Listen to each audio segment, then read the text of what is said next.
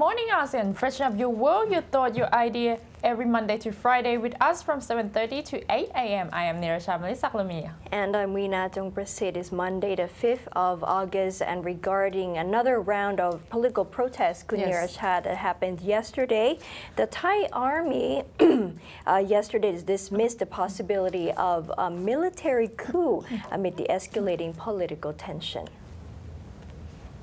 Many reports circulating in social media have no basis in fact and falsely link the army with politics. People should not be overly sensitive and should exercise good judgment in what information they take in, according to Army spokesman Colonel Winthai Suvaree. The Army and its Chief General Prayut Chan mm-hmm. Ocha have been busy assisting flood victims across the country and organizing celebrations of Her Majesty the Queen's birthday. The public should not be alarmed about any cross-country movements of Army equipment that usually take place at this time of year. The atmosphere at the anti-government rally in Lumpini Park by the People's Army to overthrow the Thaksin regime grew more excited. Organizers put up a large temporary stage in front of King Rama VI monument with a message, time to destroy the country's up, tyrants must leave. Speakers took turns out uh, on stage to attack the government. The movement's leaders said the rally would remove the Yingluck government from power within seven days. Vendors set up street stalls to sell white masks and t-shirts emblazoned with anti-government messages. Security was stepped up at Government House with barbed wire and security officials at every gate. Former Prime Minister Thaksin Shinawatra on Facebook ridiculed the rally, saying many core leaders were people with noteworthy achievements. The Democrats were reprimanded for siding with the protesters. The opposition bloc should relax and wait for its turn to form the government, he said. He also said many leaders of the anti-government campaigns were retired senior military or, pol or police brass with broken hearts for missing out on key positions during reshuffles when they were still in the service. Many retirees' names had also been monopolized by the movement without their consent, he said. Democrat Party list MP Ong At Klam Pai Boon said if the government was sincere about not helping any particular person in debating an amnesty bill on Wednesday, it must not try to pass the bill in three straight readings and must broadcast the debate on state television channels. Thai spokesman Prompong Noparit criticized Democrat Suthep Thaugsuban for vowing to lead a campaign to overthrow the government. Prompong also played down coup rumors, saying that people who started spreading coup rumors in social media harbored political motivations and they should take responsibility for their actions. And now let's update on Myanmar on the investment side as the Myanmar Minister for Labor, Employment and Social Security, Aye Myint, who is also a chairman of the Central Working Committee for the implementations of the Dawei SEZ, say that the Italian Thai Development Company has yet to cease their operations at the Dawei Special Economic Zone and will quit after the treaty between Myanmar and Thailand goes into effect. The company is facing financial difficulties for the project and failed to implement the project to within the required time frame. Myanmar and Thailand co-established the main company's special purpose vehicle I to continue the project and registered it in Thailand. The public concerned that making the registration in the Thailand can make the Dawei to control by Thailand, but the project will be administered by Myanmar. For the Dawei and its related projects to be successful, Myanmar and Thailand will have to sign agreement between shareholders and other agreements. Both countries will hold equal shares in the company through Myanmar's Foreign Economic Relations Department or FERD, Third, and Thailand's neighboring countries' economic development or NEDA. According to the Set Aung, chairperson for Rules and Regulations Subcommittee and vice chairman of Central Bank of Myanmar, say that Although the progress in Dawei is halted, the company which are replaces in place of Italian Thai development company have to give back the money invested by the Italian Thai company. He said that the highway road constructed by the Italian Thai company is good enough to drive big trucks. The company which will implement the SEZ have to give back the cost of the road to the Italian Thai company. The Cambodian National Election Committee, or the NEC, yesterday said that it would form an ad hoc committee to look into alleged fraud and ballot rigging during the national election on July the 28th without participation of the opposition party. The initial election results showed that the Cambodian People's Party, or the CPP, of long-serving Prime Minister Hun Sen was 68 parliamentary seats, and the main opposition Cambodian National Rescue Party, or the CNRP, of recently pardoned leader Sam Rainsy, got the remaining 55 seats. But the CNRP, claiming serious irregularities, rejected the results and called for an independent investigation committee with the United Nations as a referee. Sam Rainsy said in a letter to NEC Chairman Im Suosdey on Saturday that the CNRP wants a joint committee with the participation of the CNRP, the CPP, civil society, national and international observers. The CNRP wants the NEC to act as a coordinator and the United Nations as a referee. In response to the request, Im Day said that the NEC felt very regretful to see more conditions added by the CNRP for the establishment of the proposed Joint Probe Committee. He said the NEC could allow the establishment of a joint committee comprising the NEC, the CPP, CNRP, and members, while national and international officials could be observers. According to him, it is beyond the NEC's authority to invite and a UN representative to join the proposed joint committee, the NEC will set up an ad hoc committee to look into irregularities. And in Kuala Lumpur, Malaysians rescuers yesterday found three bodies at sea as they hoped at the fated for the 37 other Indonesians who went missing days earlier when their boat sank on their way home to celebrate the Eid al-Fitr. The wooden boat was believed to be carrying 44 people, including women and children, from Malaysia's southern state of Johor to Indonesia's Batam Island. It sank in heavy sea seas last on Thursday, and four men were rescued on Friday. Malaysian authorities found two bodies on Sunday, while fishermen discovered another corpse, the Malaysian Maritime Enforcement Agency said in a statement. However, Dawn and officials with the agency say that it is believed that these three bodies, two women and one man, are victims of the bird accident. But however, he said that 37 people are still missing. Another maritime official said that the bodies were found near a group of islands south of the well-known resort island of Tioman as strong currents are believed to have swept away the victims. The accident occurred 13 nautical miles or about 24 kilometers off the coast and the passengers are believed to have been illegal migrants working in Malaysia who wanted to return to their country to celebrate Eid al-Fitr, the end of the Muslim fasting month next week, without passing border control.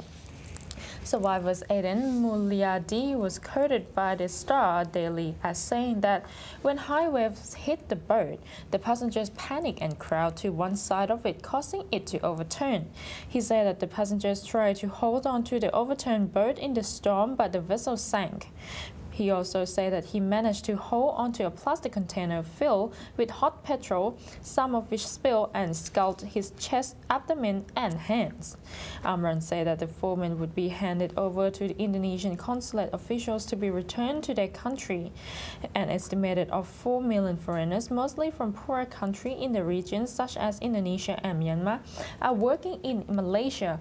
Many of them are illegal. They fill low-paying jobs shunned by locals on plantations plantations, construction sites, and in the factories. Still in Malaysia, in Penang, there's a proposal, Kunersha, to have a bike lane, and the public is now given the chance to that give their really opinion about it. Let's find out more in this report by the Star Malaysia.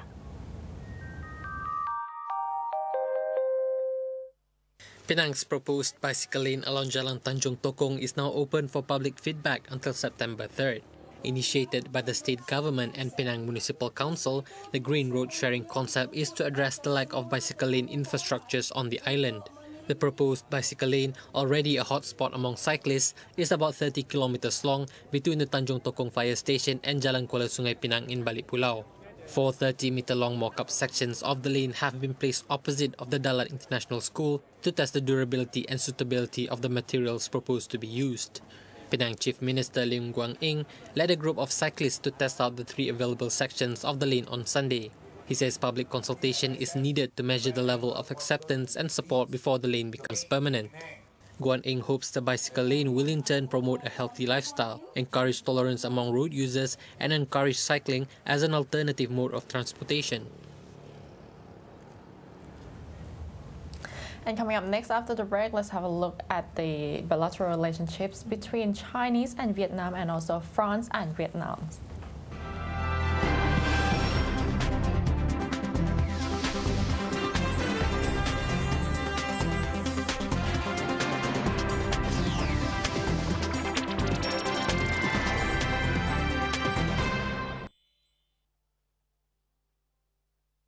Chinese foreign minister started his Vietnam visit on Sunday to boost bilateral ties amid the disputes over territories in the South China Sea.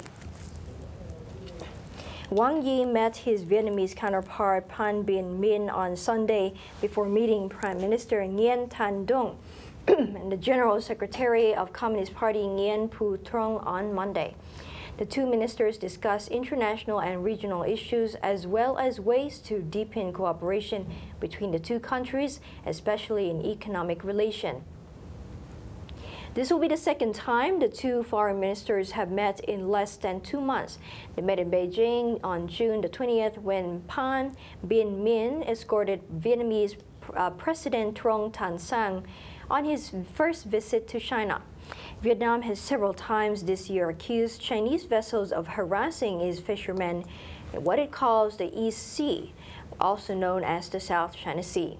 Addressing a high-level forum between China and the Association of Southeast Asian Nations in Bangkok, Thailand, on Friday, Wang warned that the territorial disputes between China and a few ASEAN nations might overshadow Beijing's ties with the regional group Wang has visited Thailand, Indonesia, Singapore, and Brunei during his ASEAN tour.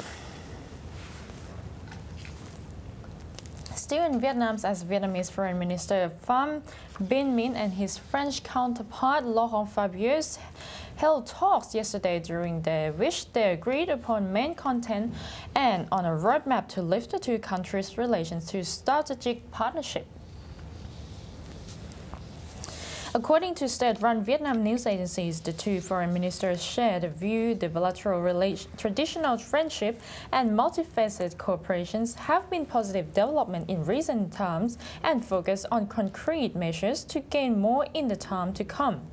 Accordingly, economic and trade linkages and exchange of delegations at all levels will be stepped up, while the existing dialogue mechanisms in diplomacy, defense, economics, trade, investment, and science technology will be strengthened and fully utilized.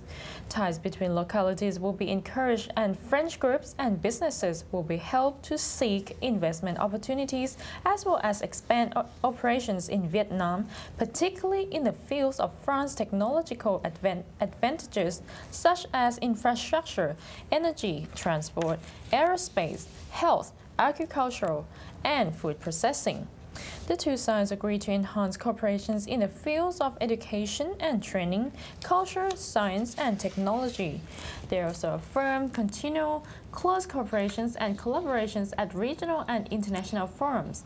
The talk took place as part of the French Foreign Minister's three-day visit to Vietnam on August 3 to 5 at the invitation of Minh at a time when the two countries are celebrating the 40th anniversary of their diplomatic ties. Tiger Air is in talks with the Indian budget carriers, including SpiceJet and Indigo, to strike a deal in which will offer Singapore travelers easy connections to many destinations in India. The partnerships will also grow Tiger Air's business in Asia, as uh, said is Singapore chief Ho Yuen Sang. With a tie-up, we will boost our connectivity and network in India and at the same time carry more, many more Indian travelers to our Asian destinations, he told the Straits Times. Amid speculation that the low-cost carrier is also eyeing an equity stake in an Indian carrier, Ho said there was no such plans for now. India had previously barred foreign carriers from owning local airlines, but the law was changed last September to permit holdings of up to 49%. Abu Dhabi's Etihad Airways has already announced plans to buy around a quarter of Indian private carrier Jet Airways, while AirAsia is in talks with India's Tata Group to set up a new airline. Tiger Air chairman J.Y. Pillay who met the Times at the airline's annual general meeting earlier this week, said even though Malaysian Airlines uh, Air Asia has moved in, there's still room for another budget carrier to enter the Indian market. For now, though, it is not Tiger Air's priority. He said, We have our hands full with Tiger Air Mandala or Indonesia and Tiger Air um, Philippines. Singapore-based Tiger Air's holdings owns about a third of the Indonesian carrier and 40% of Tiger Air Philippines as well as Tiger Air Australia. The group wholly owns Tiger Air Singapore which has a tie-up with Singapore Airlines long-haul budget carrier Scoot, offering bug, uh, baggage transfers for passengers with connecting flights. The plan is to offer the same in India, said Ho. Eventually, airlines may market tickets together and plan their schedules so that passengers do not have to wait too long between flights. Tiger Air currently flies to six destinations in India, including Chennai, Bangalore, and Hyderabad.